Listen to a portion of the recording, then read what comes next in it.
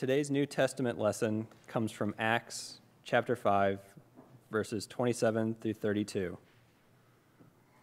When they had brought them, they had them stand before the council. The high priest questioned them, saying, We gave you strict orders not to teach in this name, yet here you have filled Jerusalem with your teaching, and you are determined to bring this man's blood on us. But Peter and the apostles answered, We must obey God rather than any human authority.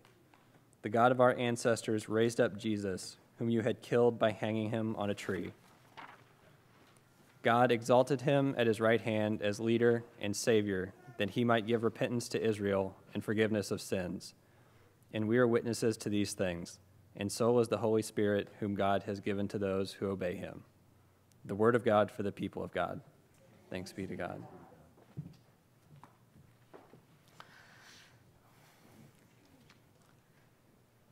The book of Acts is actually the second half of one work.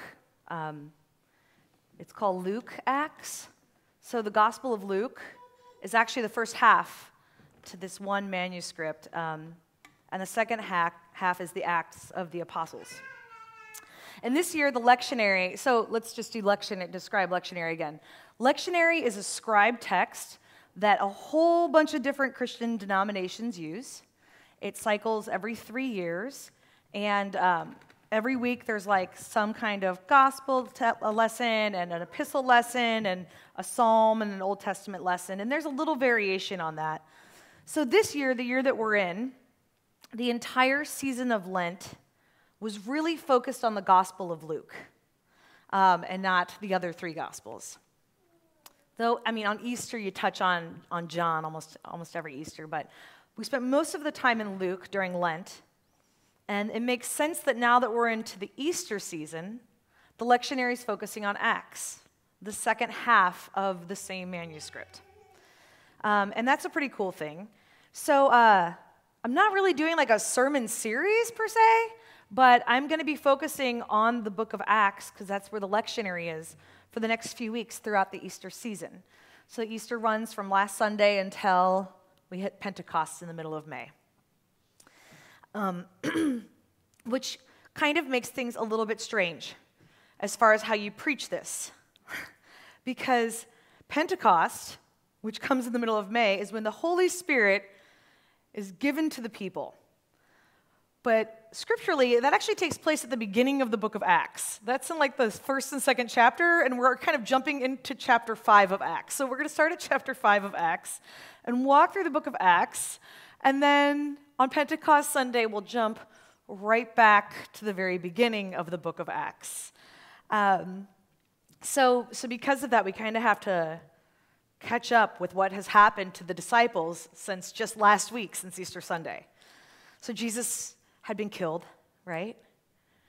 And then Jesus rose from that death. And the disciples were still cowering in some upper room, afraid of the authorities who were supposedly after them. They didn't know exactly what to do with themselves. And then Jesus appears to them for a bit, and then Jesus leaves, and the Holy Spirit is given to the people. And this Holy Spirit is so amazing that these same guys who were cowering in the upper room are now really ready to go and change the world this giving of the Holy Spirit is kind of a crucial understanding in the book of Acts. Um, because the Holy Spirit is very tricky. And so I'm going to spend a lot of today talking about the Holy Spirit uh, because it will feed into the next few weeks of what we're talking about in the book of Acts. The Holy Spirit is tricky. Theologians, people that think and write about God, are kind of now just getting around to writing about the Holy Spirit. Like we're finally, we're finally there. Um, for centuries, our tradition has been trying to talk about who God is. Does God change? Does, is God affected by us, right?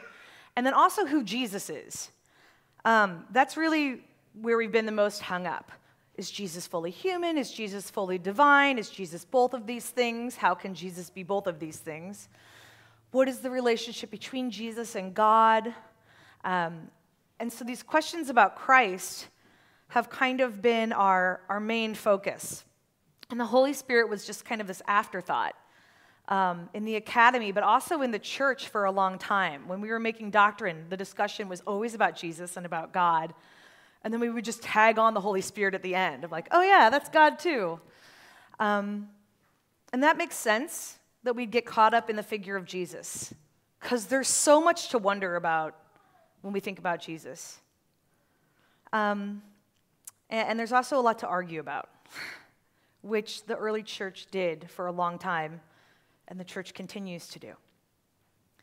There's also this other thing that scholars bring up about why we don't talk about the Holy Spirit. Um, a lot of that has to do with the Holy Spirit being understood as mostly feminine for a long time, and the church not really wanting to talk about that or deal with that, and to bring that to the attention of the public or into their work. Um, the feminine, feminine concepts were often considered like dirty or less than um, and if you deal with the spirit, you're going to have to deal with like bodies and nature.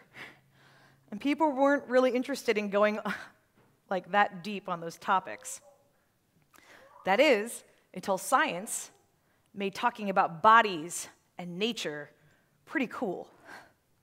And we had new things we had to think about with the way that nature works and the ways that bodies work.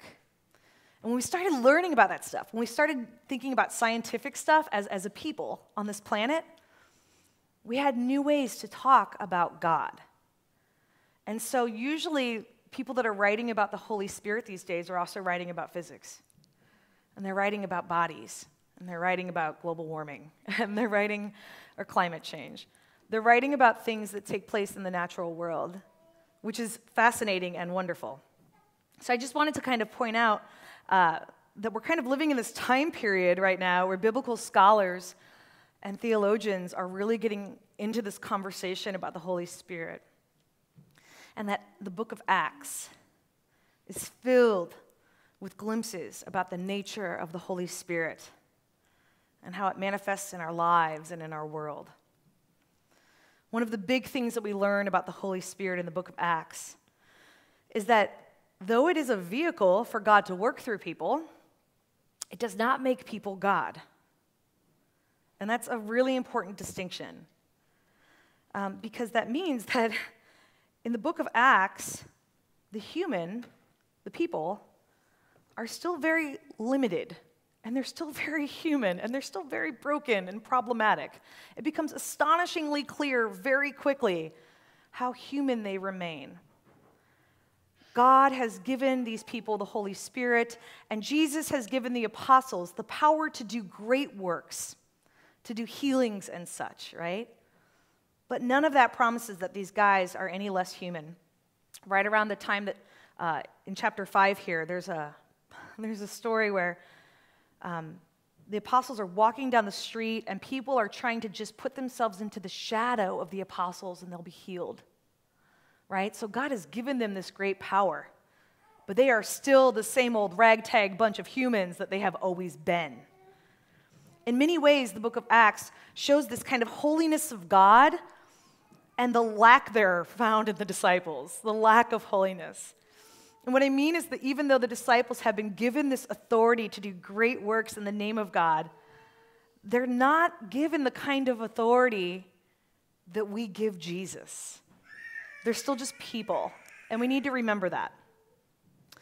So let's go to our scripture for today, because there's beaming examples of the humanity, the problematic humanity of the apostles in this story. So Peter and the other apostles are being questioned by some religious authorities, right? They had been doing healings and miracles in the name of Jesus, and their fellow Jewish leaders were not very happy about this because it kind of put the death of Jesus onto them right? The text, the text reads When they had brought them, the apostles, to stand before the, the council, the high priest questioned the apostles, saying, We gave you strict orders not to teach in his name, and yet here you have filled Jerusalem with your teaching, and you are determined to bring this man's blood on us. But Peter and the other apostles answered, We must obey God rather than any human authority. The God of our ancestors raised up Jesus whom you had killed by hanging him on a tree. God exalted him at his right hand as leader and savior that he might give repentance to Israel and forgiveness of sins.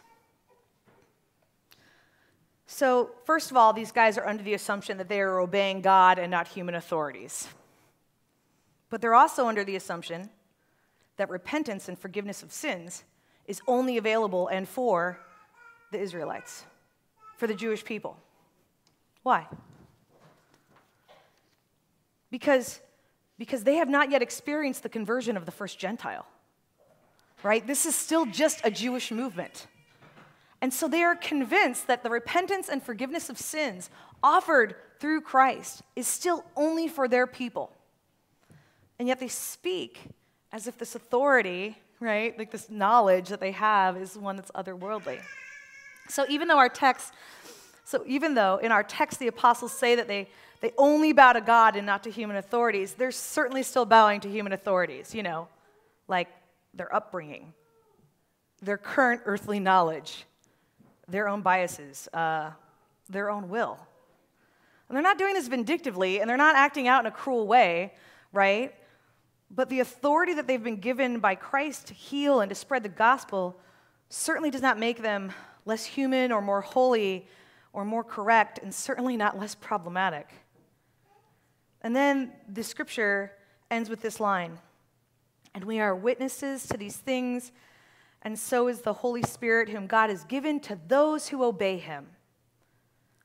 Which is also kind of strange and problematic, seeing as the apostles think that the followers of Jesus, or certain folk of the God that they worship, have a special knowledge and special relationship with God.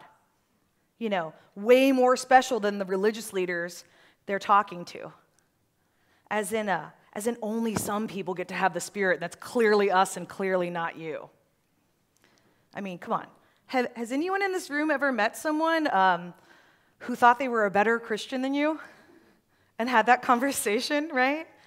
Someone who thought that they had more answers than you? It's kind of annoying, and it's definitely arrogant. And uh, I mean, it's arrogant to think that God made you more capable of being in relationship with God than others.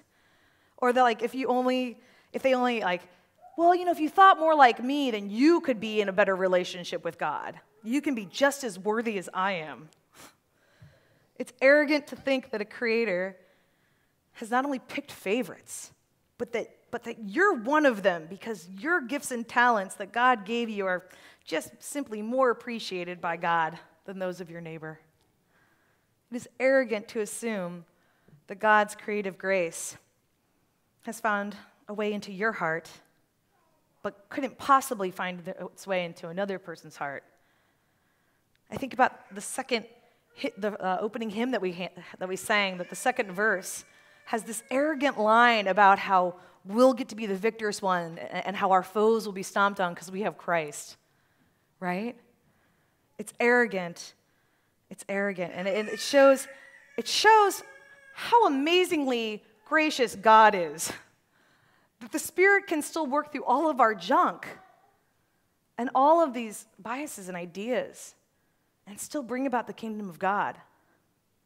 It's arrogant, and yet it's the truth of the experience of the apostles.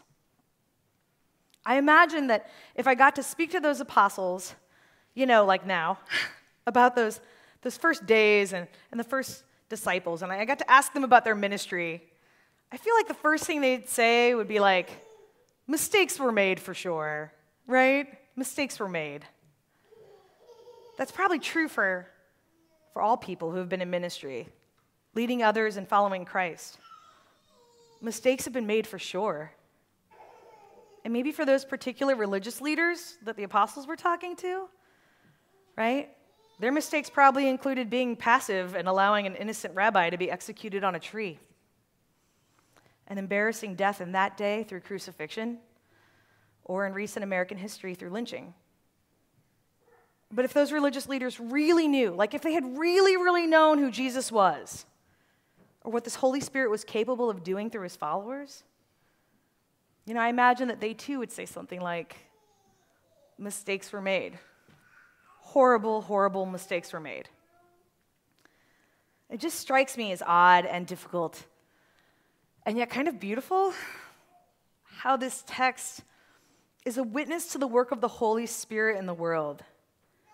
You know, in, in a few chapters, these same disciples are going to learn that Jesus actually came for all people, Gentiles as well as those in their community. In fact, the very idea of community is going to change. And yet, the lack of the current knowledge doesn't hinder the Spirit, and that's amazing.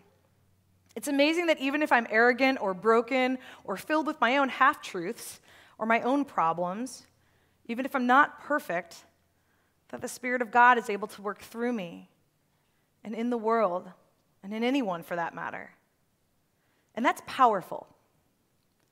And I think what really makes it, make it, makes it powerful is because it's not coercive.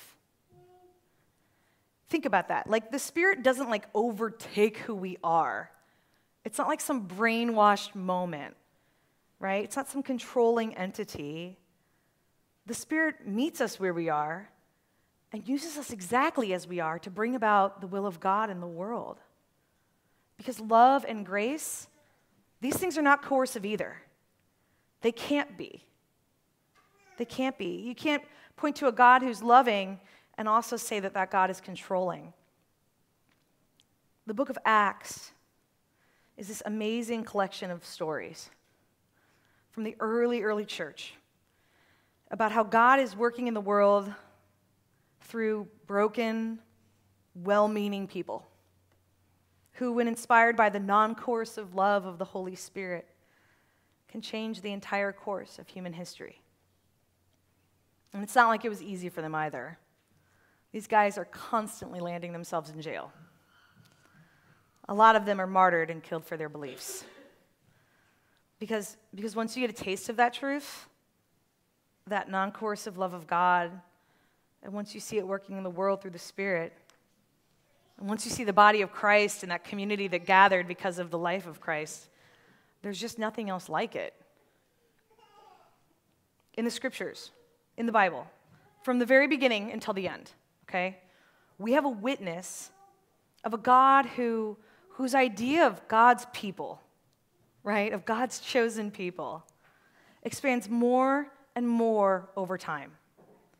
This story, our story, was written down by those people who have witnessed God's love and the idea of who God's people really is expand more and more over time. The story of Acts is yet another story of that continuation of a God that expands around more and more people over time, which gives me hope. The non coercive nature of the triune God is one that has historically been on a path of liberation from the beginning. God has constantly and always been expanding to liberate more and more people, more and more communities since the beginning of time, to wrap her arms around us and to find a way to bring us back together. Thus, the work of the Spirit is the continued liberation of all people who suffer from injustice and from disconnect from a lack of community. The liberating acts of God draw us back into community and back into relationship with God and with each other and with the world. We reflect this in communion, right? Where we're all invited to the table, even those who may feel outside or because of race or gender, economics, or other reasons, may actually be outside of the accepted community of that time and place. And we see this. We see this reflected in the book of Acts as the triune God, through the Holy Spirit, continues to widen the knowledge and hearts of the disciples and their understanding of who God's people really are. And that's the hope for us, too, right?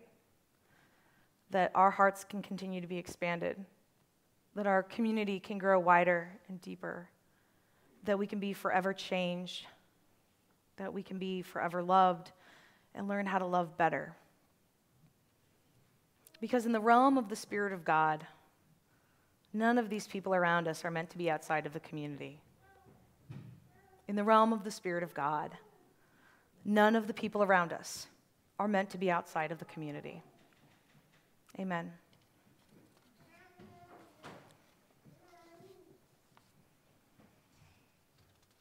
For our time of reflection today, I encourage you to say a prayer for a person that you know that you did not want to welcome into your community this week or into your heart.